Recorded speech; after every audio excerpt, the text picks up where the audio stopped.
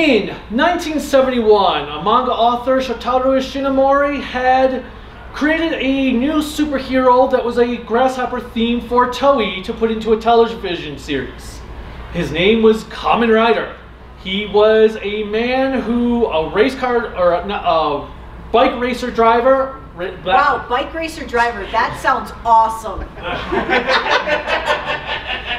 he was a bike racer who got captured by villains was turned into a cyborg, but they, for some reason, didn't change his mind before they transformed him. So he got away and became a hero.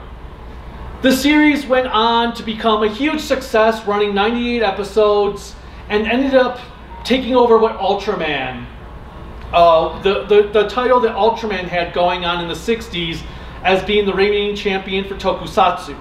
If you don't know what Tokusatsu means, it means special effects in Japanese because these are live action shows that utilize a plethora of special effects.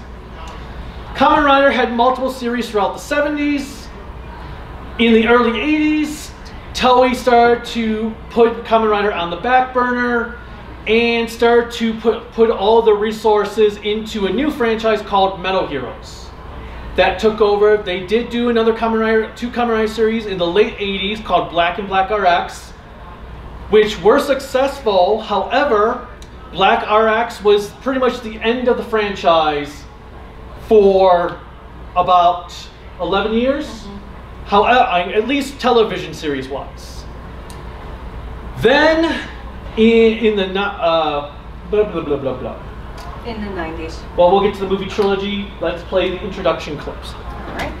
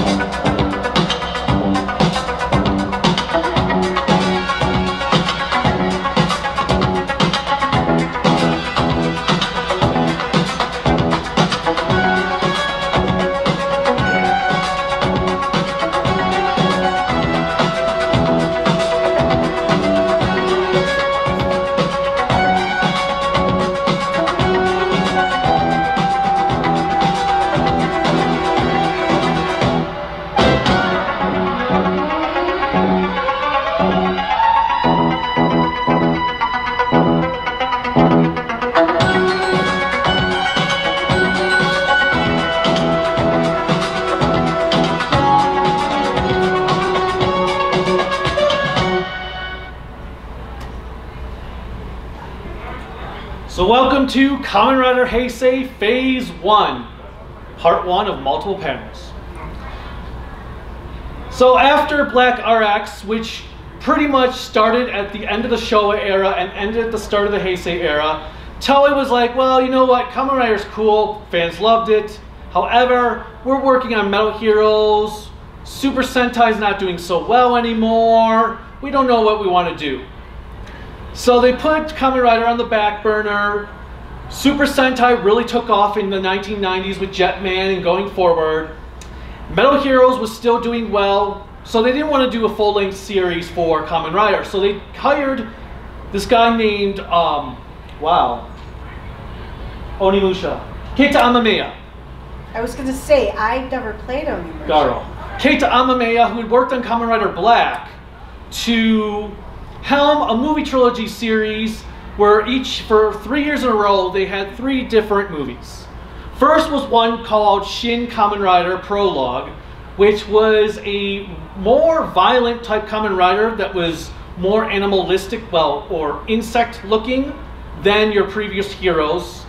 The next one was called ZO, and then another one called J, where the Kamen Rider basically copied Ultraman because he could grow huge. So here's just a small snippet of the three movies.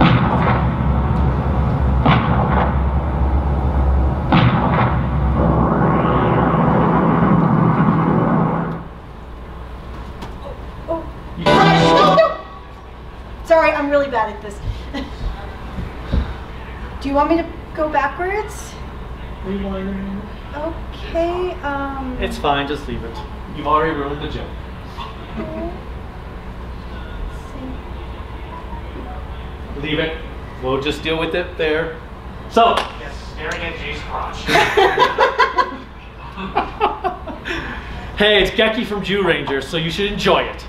Absolutely. Alright, so after this Kamen Rider movie trilogy, which all seemed like that they were, it seemed like Toei was testing, well, if these movies do well, maybe we should do more. Nothing came out of it.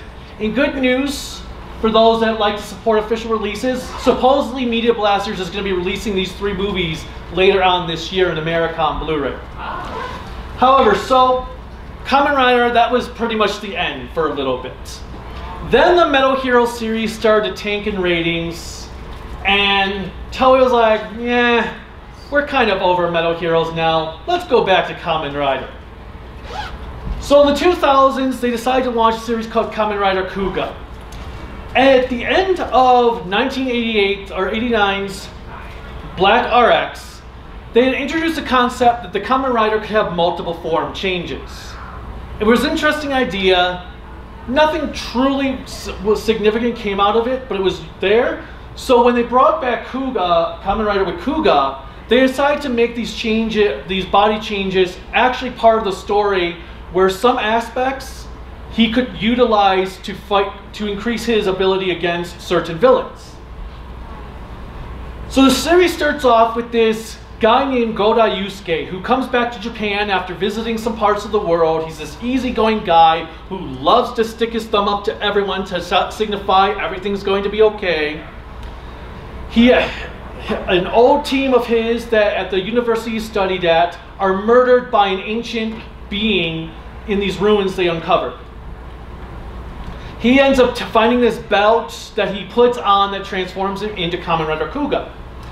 Now, at the start of the series, he actually has a white base form before his main form takes over, which is a red body. And then, as the series progresses, he gains a blue form that allows him to jump high and he can turn items into a spear. He gains a green form that allows him to use guns for range attacks. A purple form that has a sword so he can do more melee combat. And in ultimate form, if, if you've watched modern series, usually the Kamen Rider gets their ultimate form early on in the series. He didn't actually get his ultimate form until the very end of the series. The villains are these beings of creatures called Grongi. They are these animal or plant motifs whose human forms look like goth culture gone horrible, horribly No, wrong. they don't. They look like 90s goth culture. Okay, 90s goth culture, but they're with murderous intents. Yes. 90s goth culture was with murderous intent. Have you seen Cradle of Filth videos? More active. No, I haven't seen Cable videos. What about Gwar? Nope. So the Grongi, their whole point of killing was it was all a game to them. They would say, okay, I'm going to kill X number of people within this time frame uh, under these circumstances with no remorse. It's interesting when they started to learn how to work human technology because then they could start using vehicles and stuff to kill people with. And the Grongi didn't care if you were a man, woman, or a child. You were just a game to them. So here are some clips to Kamen Rider Kuuga. You know, after Jay's done. yeah.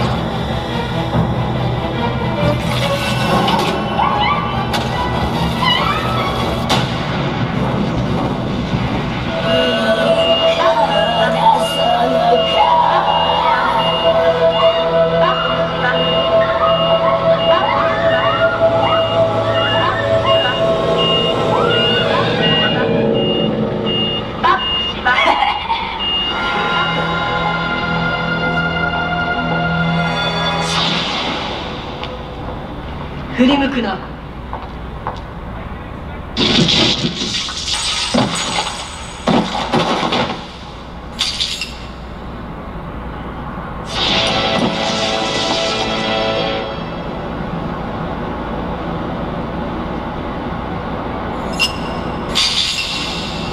Forgot the most evil of all the Grongi, the one who sealed their race's fate, the one whose cruelty denies them any sympathy, ever, ever, ever. You're forgetting Zuzenda, the Rhino Grongi. This belligerent beefcake committed the ultimate crime. He took a life that can never be replaced. He, more than any other Grongi, deserves no sympathy or mercy. He killed Mikado. It was a German Shepherd. It was a good puppy. Look at how cute this puppy is. Mikado.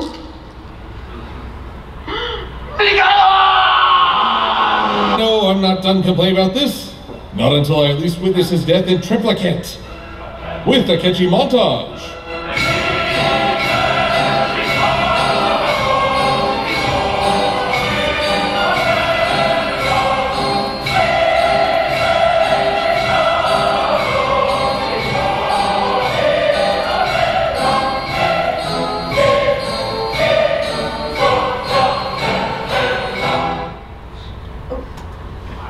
Special thanks to Silver Quill for that. So one thing to know about Kamen Rider Kuuga, if you are used to more modern series where you get toy plosions in front of your face every single second, Kuuga might throw you off because Kuuga and its follow-up Gito were written as more like cop dramas. A lot of it is the you'll have cops trying to figure out what's going on, why all these murders are occurring. The hero in Kuuga, he actually works directly with the cops. So some people are like, well, Kuuga's boring because it's just people talking and investigating. Where's all the toys and gimmicks and explosions? And I feel like that's what really separates Kuuga from other Kamen Rider series. Because back also at the time, during the Showa era, Kamen Rider's formula was monster attacks, Kamen Rider tries to stop him, the monster gets away, Kamen Rider uh, fights later, defeats him, end of story. And that was pretty much the formula throughout the entire Showa era. So they wanted to try something different to make it more dramatic to gain audience members. And it worked extremely well. Women loved Kamen Rider Kabuto, or Kuuga. Kuuga. Yeah. Kamen Rider Kuuga. In fact, the actor who plays Yusuke has had non-stop success in everything he is in because he has this complete dedicated fangirl following. And that's what also elevated Kamen Rider into being a more mature series, franchise going forward. And one thing I consider is back for Super Sentai, I consider the 90s of Sentai to be the experimentation period.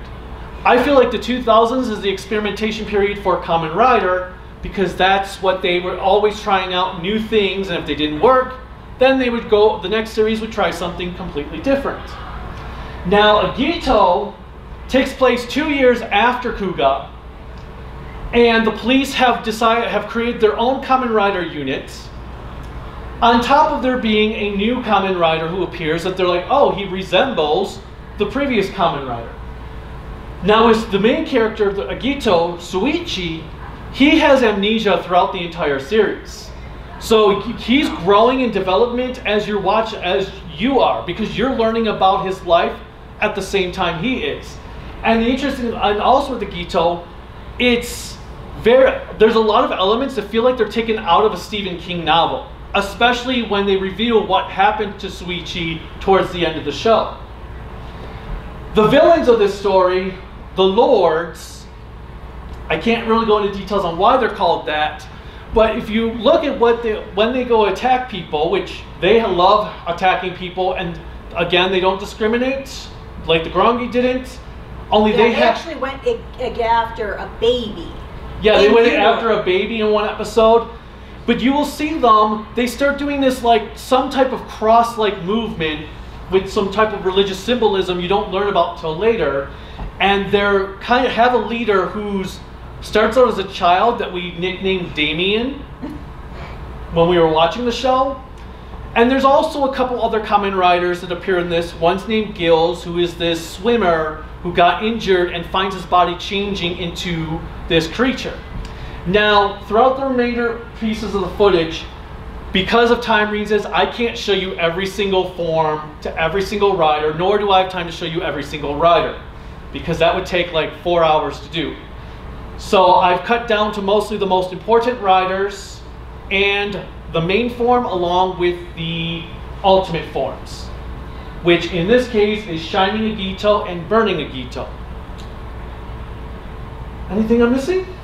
No, um, just for Kuuga and for Gito, if you're interested in watching these series, especially if you haven't, um, TokuSHOUTsu, which As is Kuuga. has is Shouts Factory's um, channel has this series uh, along with others, and then there's also Tubi, which you can also watch a lot of these series as well legally in the U.S. Shout Factory also just is on Pluto now too, so you can watch Kuuga, Ryuki, and Zero One there. and original.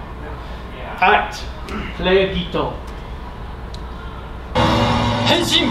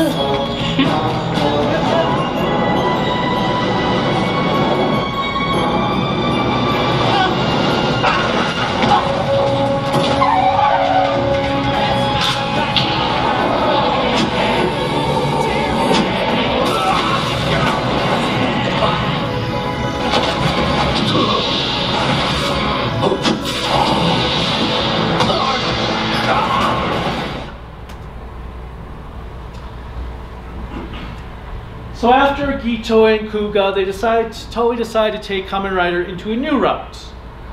They had a concept where the Kamen Riders would make contracts with monsters in mirror worlds, fight monsters in mirror worlds on top of other Kamen Riders, with the notion that there's 13 riders, only one can survive, and the one who gets the, gets to be the last one gets to make any wish they desire. So basically, if you know the story of Highlander, the Highlander. And this one has her favorite Kamen Rider crush, Kamen Rider Knight, who is a biker chick because Diggs love loner bits.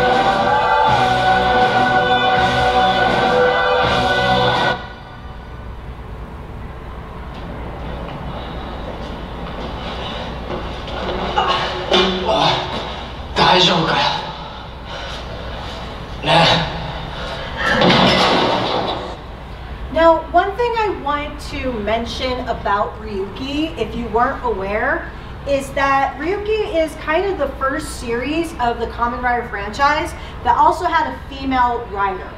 Sadly, it was only in the movie, um, so it wasn't like a part of the series. But it was a stepping stone for that particular franchise because usually women in Kamen Rider series were either the damsels in distress or very subordinate players. Yeah, because in the 70s they had a female hero named Tackle, but she was not considered a Kamen Rider. This was the first time they actually had a actual character. Her name's Kamen Rider Femme. And so it was exciting um, for a lot of fans at that time because there was a new version of representation that had never happened before.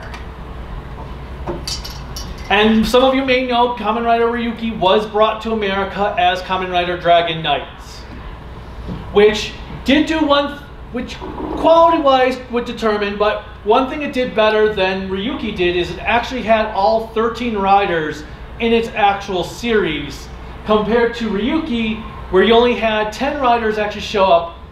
Two were relegated to special, uh, to a movie, and the other one was relegated to a special.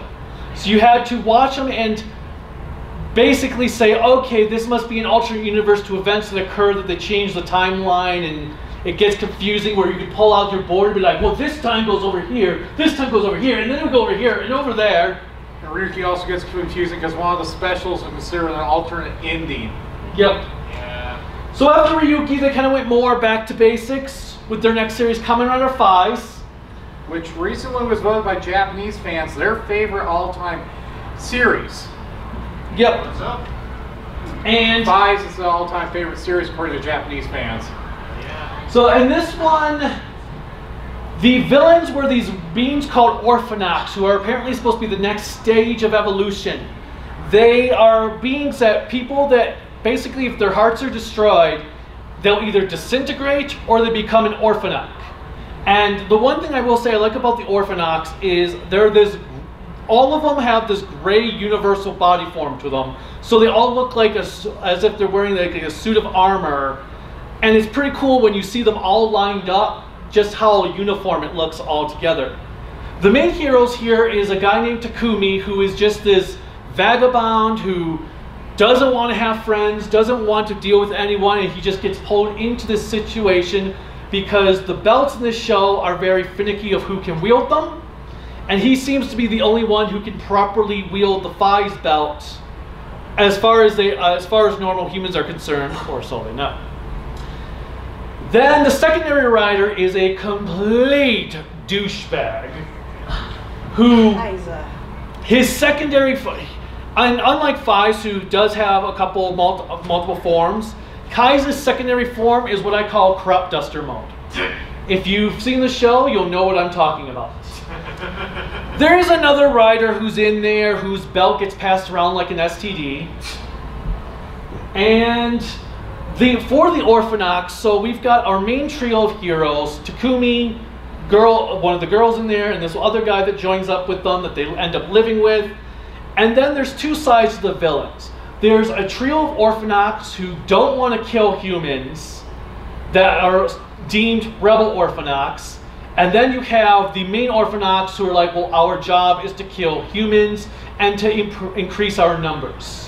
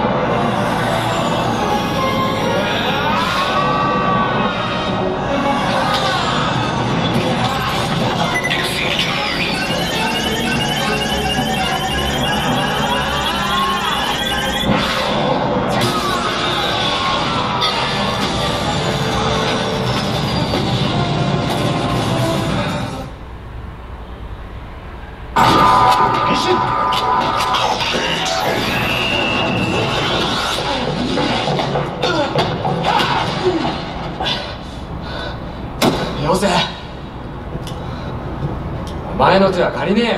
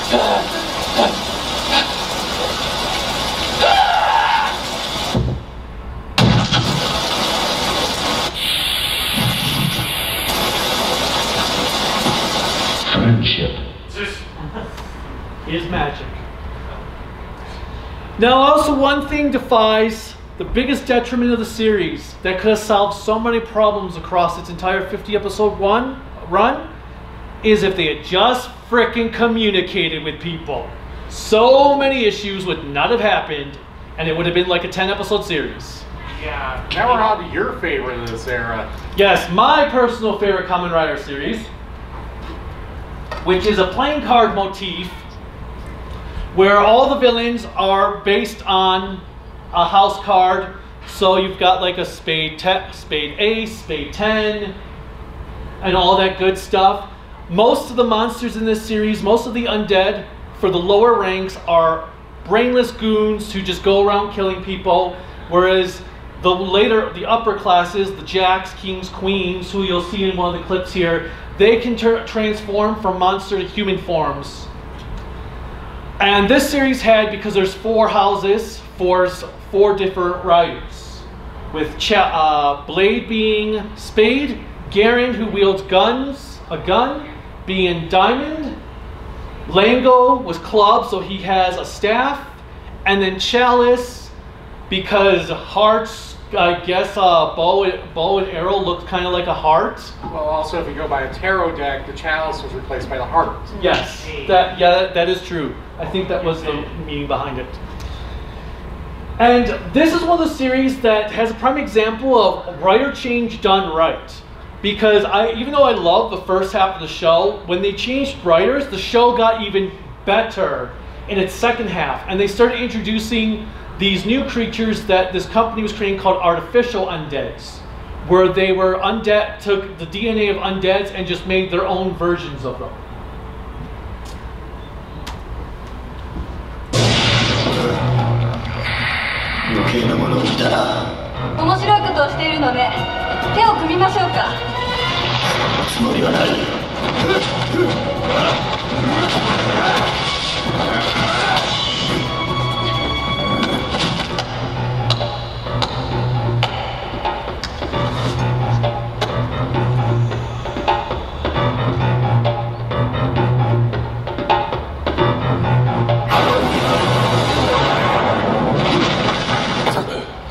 さあ遠慮しないで。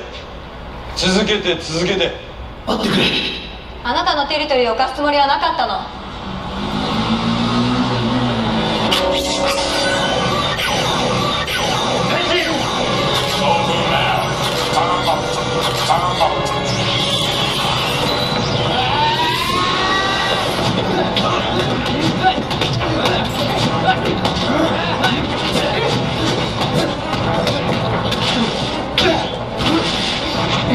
前たちを倒す力を手に入れる。楽しみな。お前あなたに任せ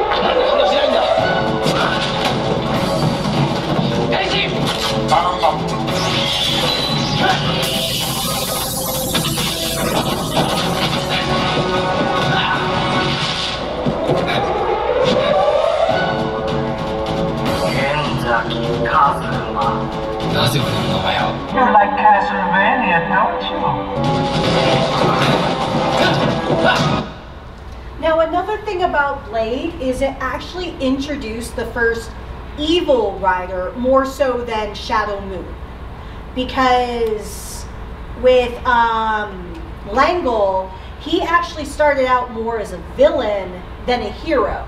And um, another really cool thing about Blade. Technically, Ryuki had the most evil rider. Yes, but they that was more of a Highlander motif, and they were they were already bad people. Ryuki was a battle royale. This Yes. was different. And also another thing about Blade is all four of the riders get an upgrade form, but only Chalice and Blade have the true ultimate forms in this show, and there's a story reason for it too. Well, no, Lego didn't get his upgrade form. He was this close. So, after Blade came out, the guy who was put put in charge of Kamen Rider was like, you know, audiences are kind of um, bored of Kamen Rider at this point. Let's do something entirely new that's not a Kamen Rider series. They were going to do this first, this remake of an older toku sho- uh, show about ninjas. Then they decided they were going to do a ninja yokai theme series. And it was going to be just a new, completely uh, new series. And then Takara released a show called Ryukendo. And Toei said, well, this new show that has no ties to any other series really might confuse audiences with our new show that will have no ties or anything. So let's stick with it being a Kamen Rider. So they ended up going with this show called Kamen Rider Hibiki, which may have also been based on a manga that Ishinomori was working on when he was when he passed away called Onigeki Hibiki. And it was about Onis who wield musical instruments to do away with the evil spirits of the world. Now, the first 29 episodes of this show are really amazing. The it has this really interesting signature style to it, black screens of text. If you've ever watched Evangelion, it has similarities with the way it's done. That it's clearly had influences from aspects of that. Um, and the main character Hibiki, he was an older character. The actor was 30 when they did this show, and apparently Japanese children found him hard to relate to. Me personally, I think he's the most relatable Kamen Rider because, like me, he doesn't drive. In fact, in one of the scenes here, him trying to drive a car is hilarious. It reminded me of teaching him. And it was not like that. I just couldn't turn. That's even worse. And then, so it's interesting to have you have a Kamen Rider series, but the main rider doesn't know how to ride and he drive it all at the beginning. And even in one of the scenes, he's he's riding the bike with the secondary rider, and because he doesn't know how to stop the bike, he just jumps off the bike and lets it crash. And so he used drums for his style against evil spirits. The other two riders you'll see, they, one of them who is who also is played by the guy who played Tuxedo Mask in the live-action Sailor Moon series, he used horns. His name was Ibuki, and the other rider, Todoroki, uses a guitar. The villains are a mysterious lot that the way the show goes, because after episode 29, they brought in a new writer, new producer who completely overhauled the show to be more generic like.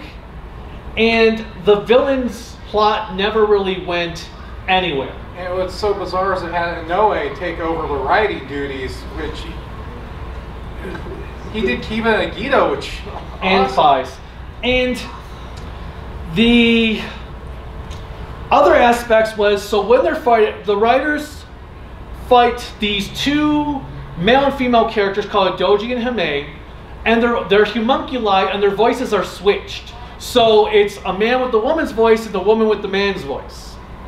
And they're very creepy, especially which you'll see the summer versions of them are very chatty where you're like, man, they're gonna kill you even quicker than them. Because you could be just walking along, enjoying your life, and if suddenly the color filter changes around you, you're screwed. Because every time they would appear, a color filter would change, and their job was to feed a bigger monster that the that would attack called a Makamou. And then in the second half, they kind of just went more of a generic route where everything become like became like your standard Kamen Rider series. Hibiki stopped using his drums to use a sword and got a new upgrade form using that sword.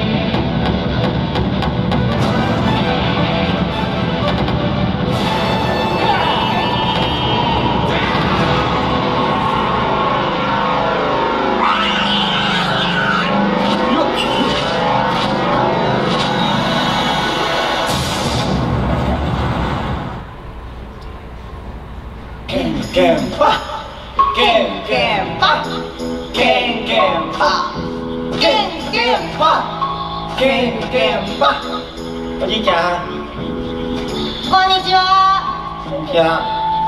あうん。美味しそうだね。うん春の握り飯だからね。うーん。そっちじゃなくってね。おじいちゃんが美味しそうってことじゃあ美味しそうなおじいちゃんにはきのこのご飯になってもらいますよ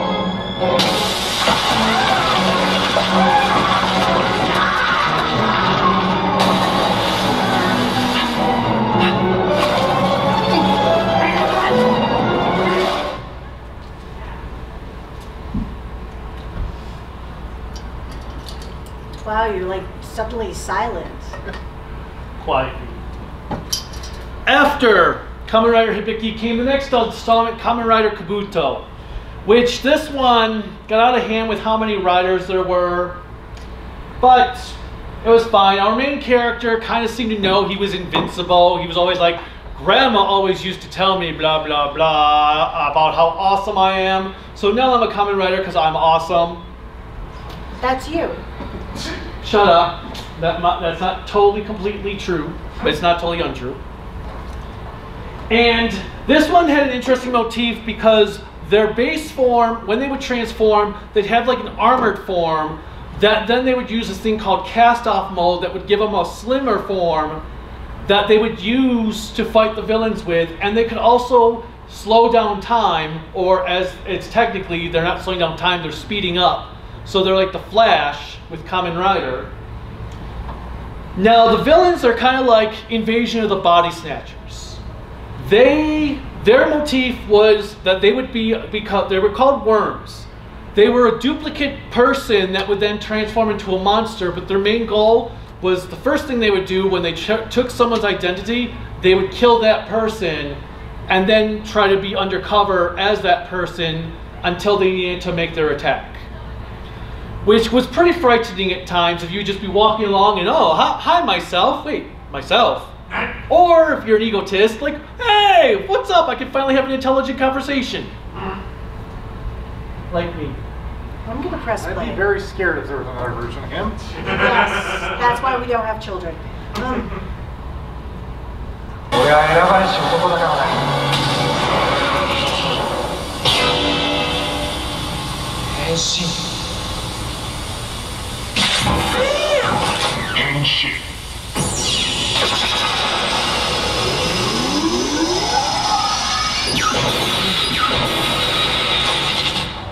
Cast off. Cast off.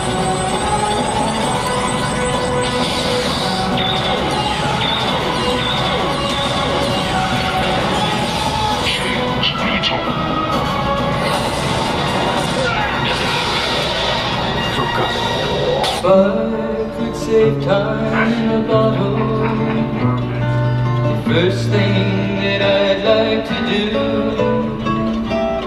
is to save every day till eternity passes away. Walk over. ハイ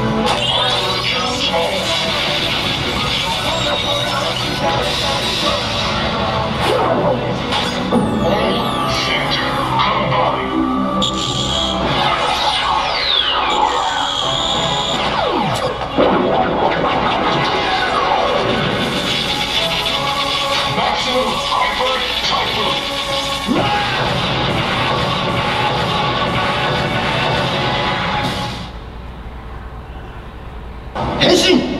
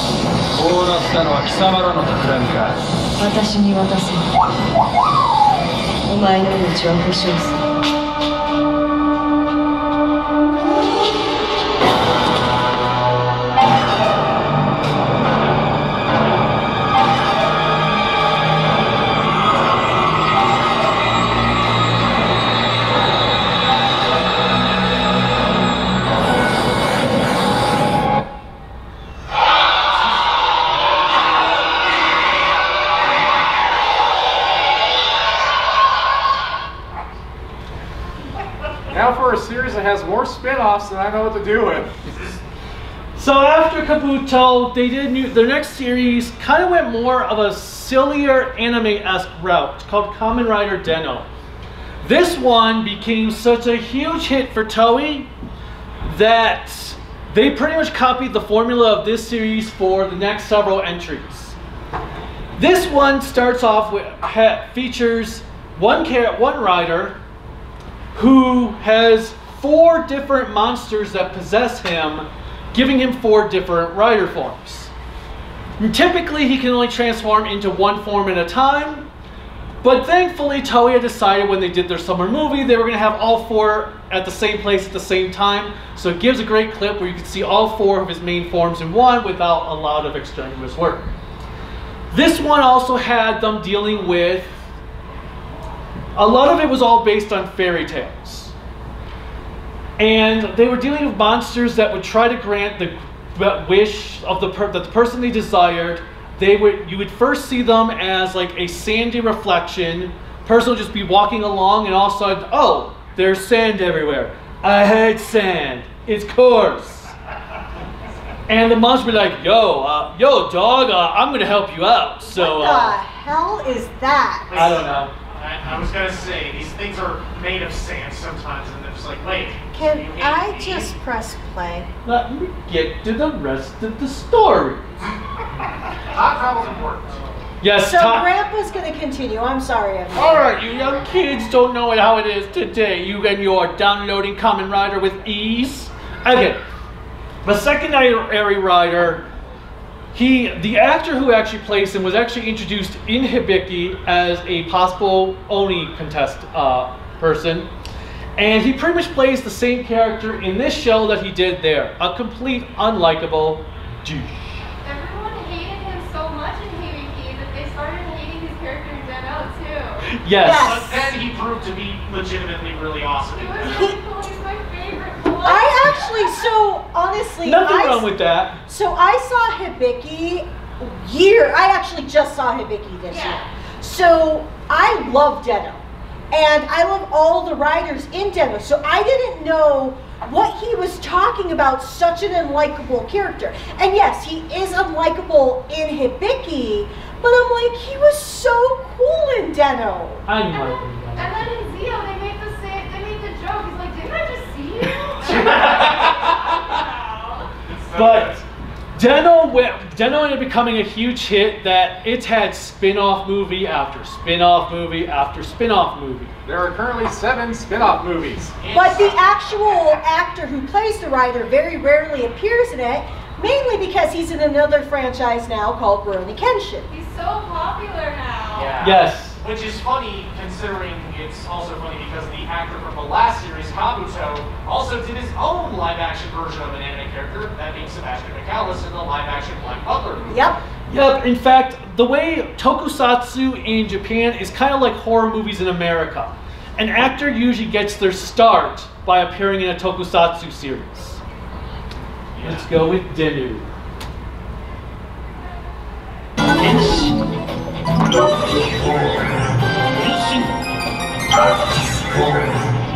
身。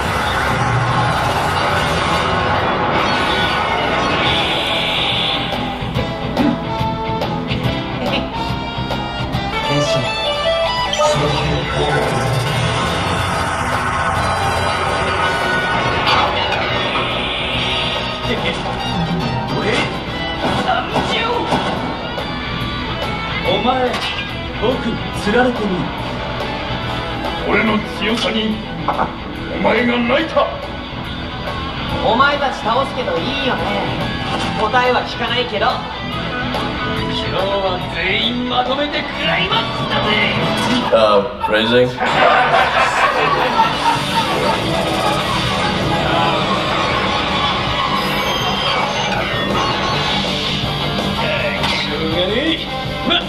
てんこ盛りの主役は俺だしなそう聞いてはいたが気持ち悪い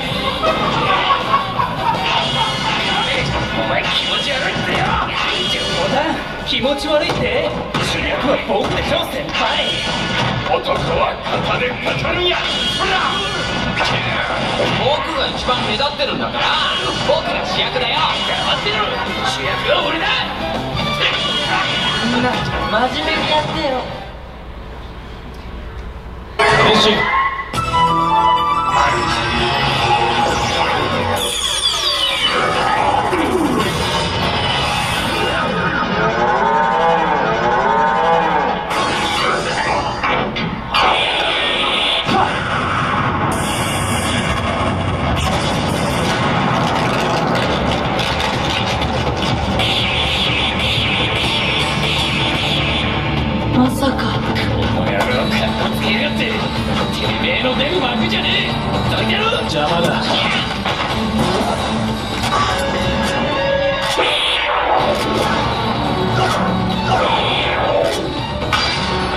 最初に言っておく。俺はかなり強い。お前炎の仲間か？仲間？冗談だ。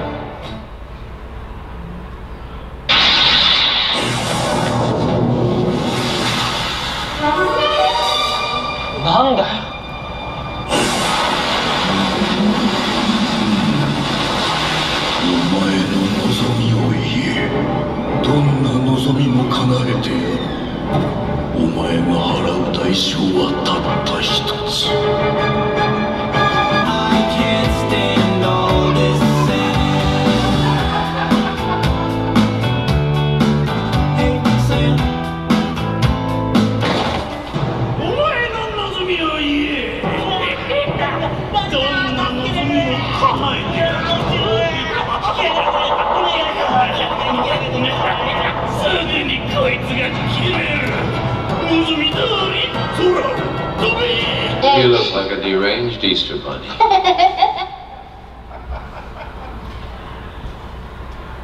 Kamen Rider Kiva, this one had had an interesting concept because it took place in both the 80s and in modern day.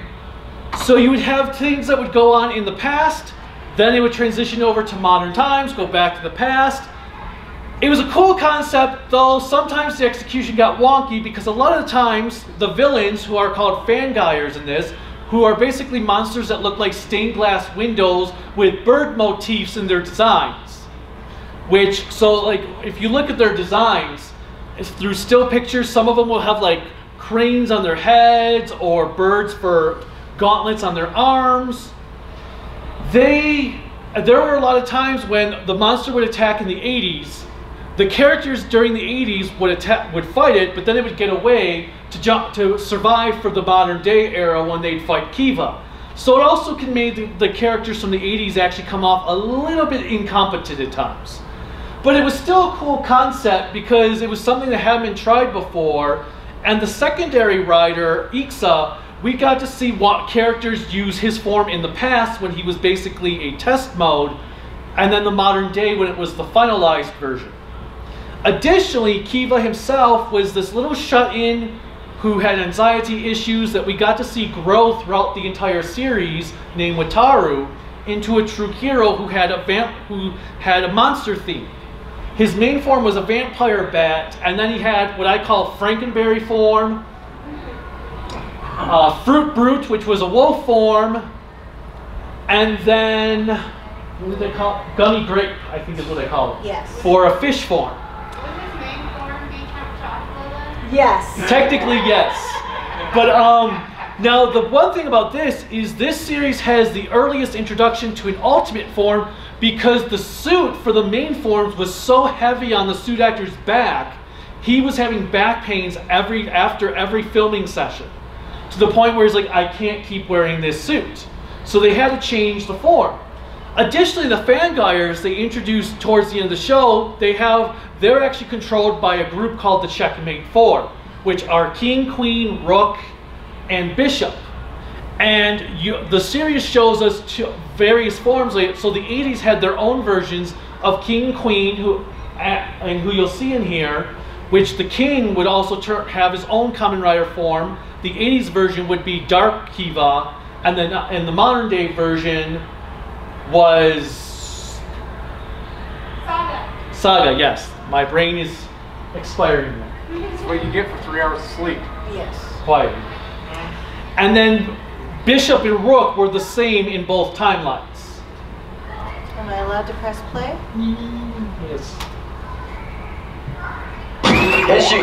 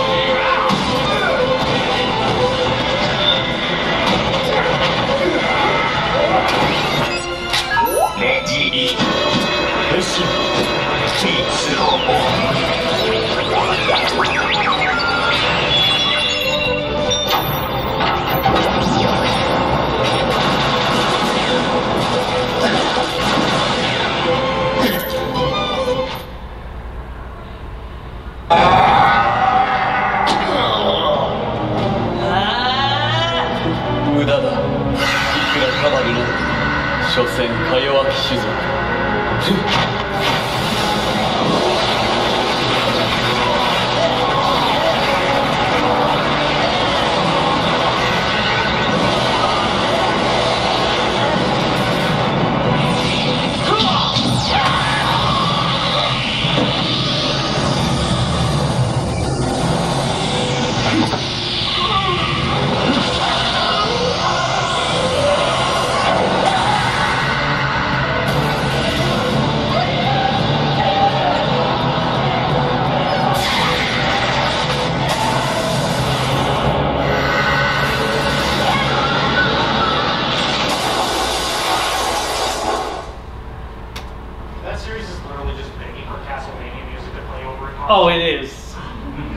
reviewed it back in October, it was hard to not play lots of Castlevania music, mostly because of copyright strikes. As a person who does a lot of sound foley for fandoms for Rider stuff, every time it's Kiva, I always use Castlevania music.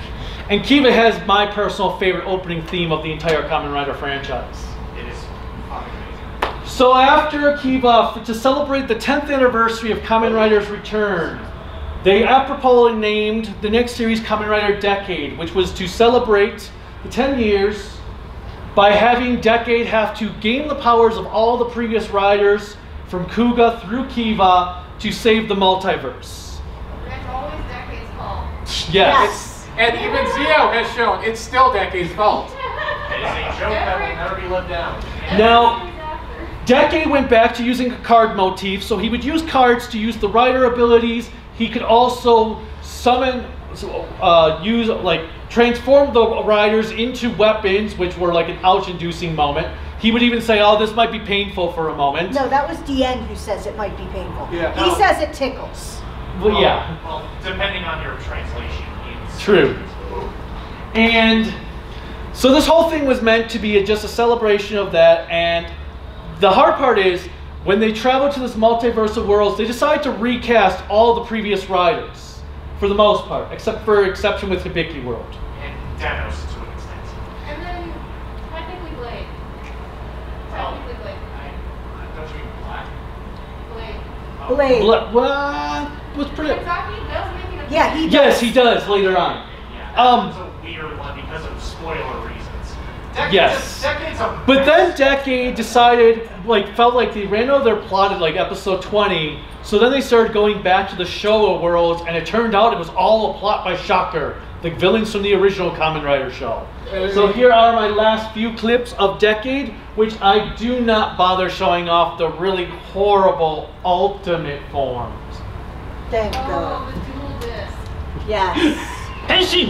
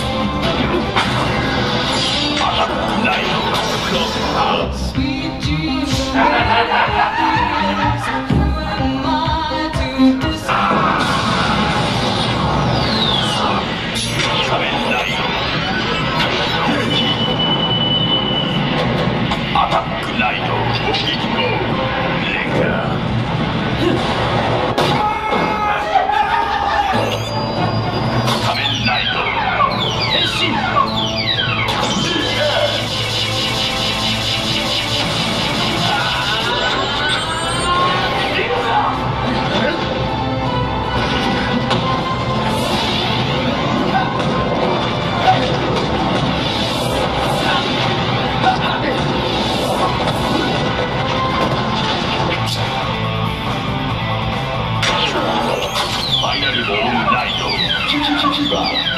the dual disc. Yes.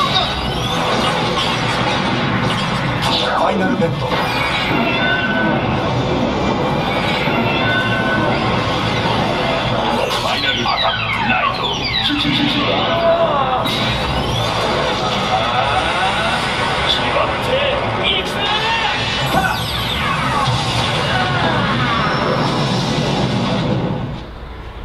Back in the day, there actually used to be an app um, in the Play Store on, on the Android, which you could actually get all of the decade sounds for all of the other riders. It was so funny because I would drive them nuts playing Kiva and Ryuki. Now, the other thing about Decade is none of the villains are actually his own villains, except for the guy in the trench coat and hat, who we've never come to understand. Not even Zi-O explains him. I'm talking. All the vil- all the villains in Decade were pretty much just based on all the previous Kamen Rider villains. We have the Grongi, the Lords, the Orphnoch, the Mirror Monsters. Um, on one of the generals from X, uh, Apollo Geist, is one of the final Yes. of the show. Shadow Moon was also there. Shadow Moon, and then uh, General Shadow. Yeah, and let's and, and Well, weirdly here- enough, the final monster from Zeto apparently. Well, here's a question for everyone.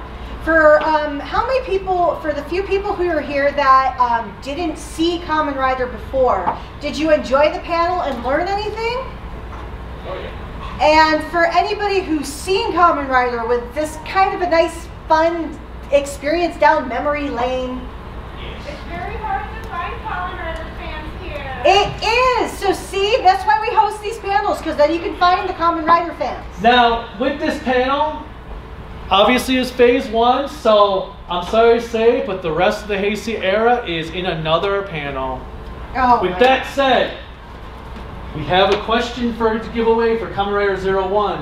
What is the question you want to Oh my god! I love how he puts the pressure on me. Okay, so he mentioned at the beginning of the panel um, about Ishinomori. What year did Kamen Rider first come out? I saw your hand go up first. 1973. Nope. Yes? Nope. 65? Nope. Okay. You guys are going too low. All right. I feel like we're doing prices right, which is not a bad thing because I enjoy the show. Um. All right. Does anyone? Uh, let's see. Sam. Thank you. So, the writer of Kiva, Faiz, and uh, did the second half of Biki.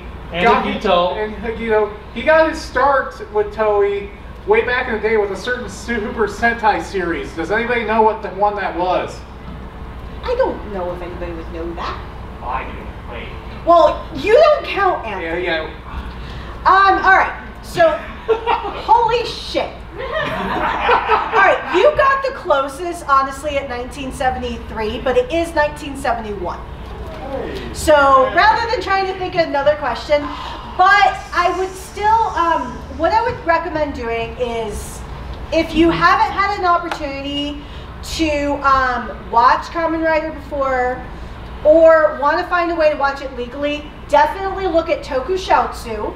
They actually are streaming right now on Twitch right now. They have um, Ryuki streaming right now on their Twitch channel. They also, another place you can go is Tubi. They have it as well. And then Shout Factory TV on their website. And then, And they, they are currently streaming the original series, all 98 episodes, Kuuga, Ryuki, and Zero One. Now the cool thing about that Zero One Blu-ray set is it also includes the movie that comes after the series on it. congratulations! Did everybody enjoy themselves? Does anyone have any common questions? Yes. Um, fun fact, the guy who played Diend in Decade also played it like he was in love with Decade. Yes, he did. It was really fun, and then the guy who played Decade was like, please don't do that.